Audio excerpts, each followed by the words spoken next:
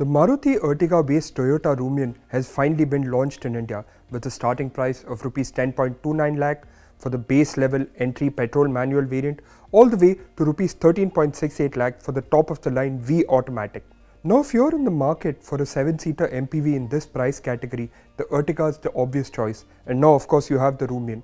But while doing the research for this story, we also discovered that a lot of our users were uh, making comparisons to the Toyota Innova Hycross and the Toyota Innova Crysta.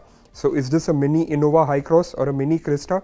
Stay with us as we answer all your questions and if you stick around till the end of the video, you'll also get CarWale's recommendation on which variant to pick. Now let's begin with price, variant and features of the Toyota Rumion. There are three trim levels across five color options rustic brown, iconic grey, spunky blue, cafe white and enticing silver. The petrol engine can be had with either one of two transmission options. Toyota is even offering CNG power but only in the entry level variant.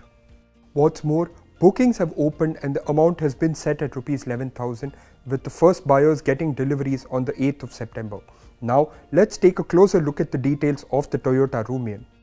The fully loaded Toyota Rumion V variants get features like a 7-inch touchscreen infotainment system with wireless Apple CarPlay and Android Auto, Toyota connected car technology, and an auto function for the projector headlamps. On the safety front, all versions of the car get dual front airbags, ABS with EBD and brake assist, ISO fixed child seat mounting points and seatbelt pre-tensioners. At the time of shooting this video, Toyota had not announced a global NCAP or Bharat NCAP rating for the Rumion. Our recommendation in terms of variants, if you want the manual transmission, then go for the G variant as it has most of the features of the V variant but is cheaper by rupees 73,000. If it's the two pedal option that you're going for, then we recommend you go for the fully loaded V automatic. With pricing out of the way, we now get into the finer details of the Toyota Rumion.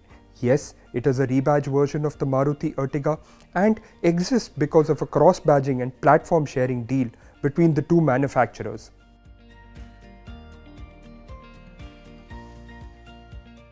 On the outside, the grille is new, the wheels are new and you get some extra chrome on the bumpers. The cabin is exactly the same as the Ertiga right down to the layout, color schemes and dimensions. The big change is of course the Toyota badges everywhere.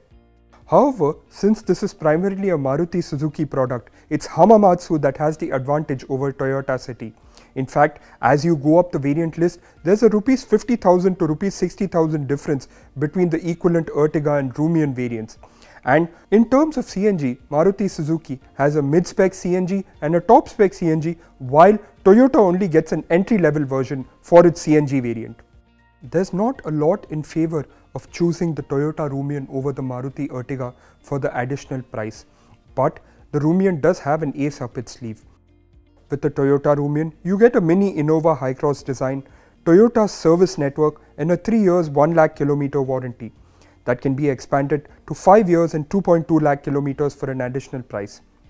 In contrast, Maruti offers with the Ertiga a 2 year 40,000 kilometer warranty as standard and a 5 years 1 lakh kilometer warranty when you go for an extended package.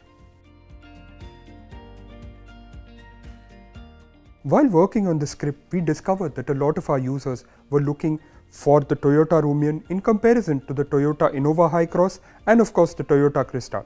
This is understandable given that it's an MPV, that it's a 7-seat vehicle and of course it has the Toyota badging.